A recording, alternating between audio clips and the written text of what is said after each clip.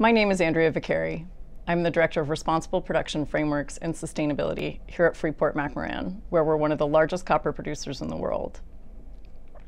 At Freeport, we produce copper, molybdenum, and gold for global markets. We operate one of the largest copper mines in the world in Papua, Indonesia, as well as several very large-scale mines in North and South America. I've spent my career in mining and metals, and have worked primarily in sustainability, environmental, and operations. Last year, I had the pleasure of attending the inaugural Women for Metals event in London, England, during LME Week. It was an absolute pleasure to do something for women during such a typically male-dominated event. I really enjoyed it, and I'm really glad we're continuing here this year. It's a shame, of course, that we're virtual, but, but I'm so glad we're still able to do this, and in fact, maybe bring in many, many more women than we would have in person in London. Being a, a woman in mining has been hard but it's been worth it. I've benefited significantly throughout my career from women in leadership positions and sustainability, as well as men in operational and corporate roles. Those people believed in me, and they continue to do so. I won't spend this keynote on the reasons why gender equality is so important and the case for it. I think the case for it is very clear, and I'm not an expert in it, so I'll leave I'll leave the diagnosis of it to the experts. What I'm here to do today is to get us all thinking about why is it that women tend to dominate in sustainability roles in mining and, in the mining and metals industry. Let's start with the statistics. If you look across the mining and metals industry today, you see that women are in about 10 to 20% of the roles, sometimes as low as 5%, depending on where you are. But if you look at just the sustainability roles in the mining and metals industry, you see the complete opposite 80% women and 20% men. Why is that? Are we better suited? Are there specific traits that we develop over time, perhaps that we excel in? Or is it something else? Is it that the barriers to progression in the industry in sustainability are lower? Or maybe it's some combination of it all. When I started my career in 1999 with a then boutique sustainability firm, the directors were all men. I learned and grew with them, challenged them regularly, as I'm sure they would tell you, but they never treated me differently. But then again, we were a consulting firm. Our profit and loss statements were not about producing products, they were about delivering value to clients around the world. Then I discovered mining and became a lead on a large mining account and was lucky enough to meet my mentor. One of the first things that impressed me the most about her was her fearlessness. She was not afraid to speak up and say her piece. She was a scientist like me and blazing a now legendary trail in the industry. I ended up going to work for the company a few years later, and she constantly told me, just keep going. You're amazing. It will work out. Sage advice for someone who had just started working for one of the largest mining companies in the world, which was dominated by men. She is very recently retired, but thankfully remains a trailblazer on boards today. So then there I was at this big mining company in a corporate environmental role, which went fine. I honestly didn't think much about gender differences or equality at that stage.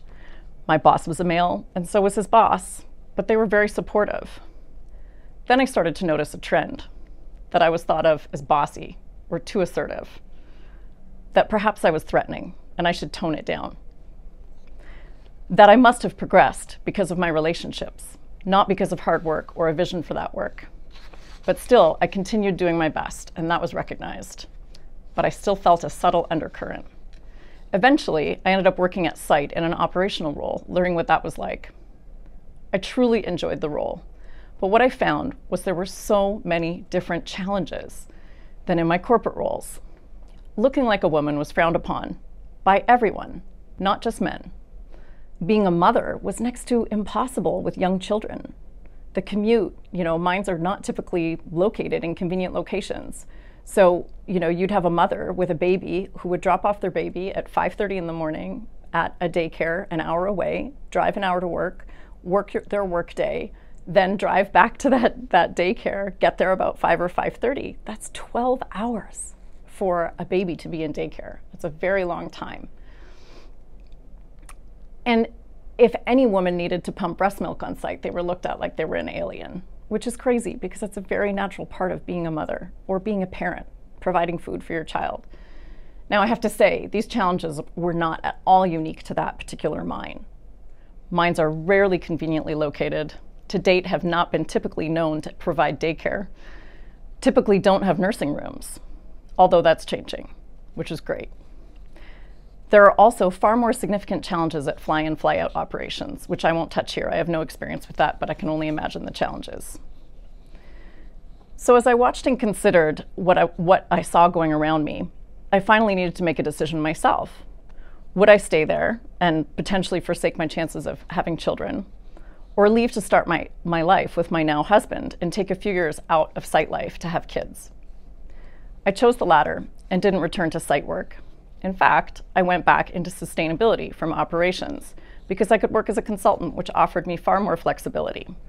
This is not to say that there are not examples of women that have been able to work at site and have small children and be successful. But I promise you that if you had a personal conversation with them one on one, they would tell you just how difficult it is, how challenging it is, you know, for, for their quality of life, the amount of stress that it can bring. And the success stories are not common, they're the exception. And we need to change that. But now, here we are in this virtual 2020 world, one where being physically at work has become a luxury. In many cases, it's not a necessity. And we're seeing that 10 years ago.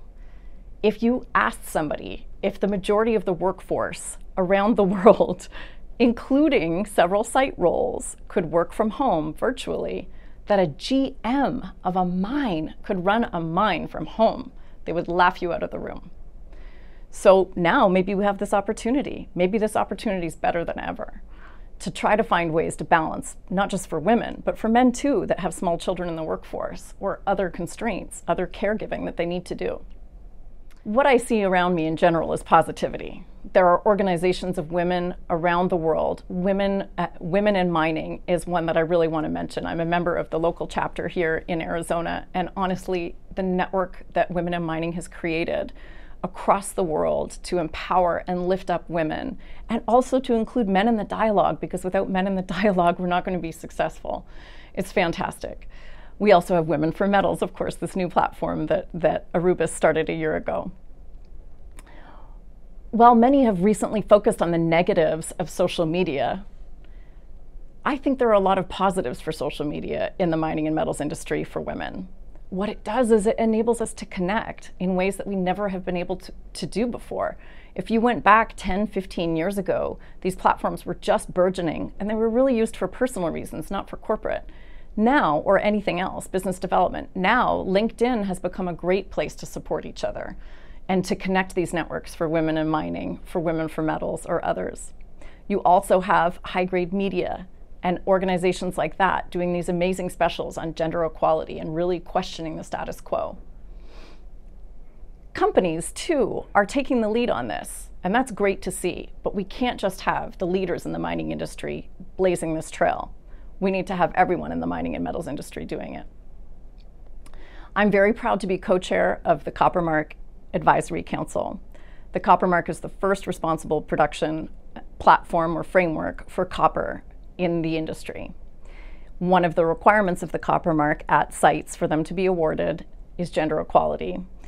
Not necessarily achieving it fully, but really striving to work hard towards getting it. And for that, I'm very proud. I am proud that the company that I work for has committed to the copper mark at every single site we operate that produces copper, and I hope to see many more copper mines join us. So let's come back to the key question of why there are so many women leaders in sustainability. Why have so many ch chosen a similar path to me?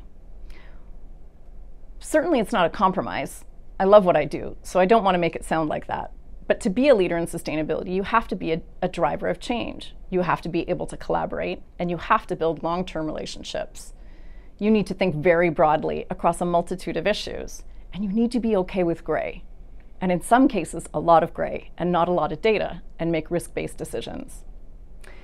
Is it possible that our socialization as caregivers, mothers, sets us up perfectly for this type of role as a, derive, as a driver, a collaborator, a risk assessor, and communicator? Or could it be that many women gravitate towards non operational roles and sustainability is a natural fit, because the barriers of traditional operational roles aren't there. We see this similar trend as well in other corporate type roles finance, HR, communications. Could it just be that the barriers are less? These are questions that I and Women for Metals feel deserve some discussion. So we're very excited to have you here today, and I encourage you to stick around and be a part of the discussion in the second half of our special event today. Thank you.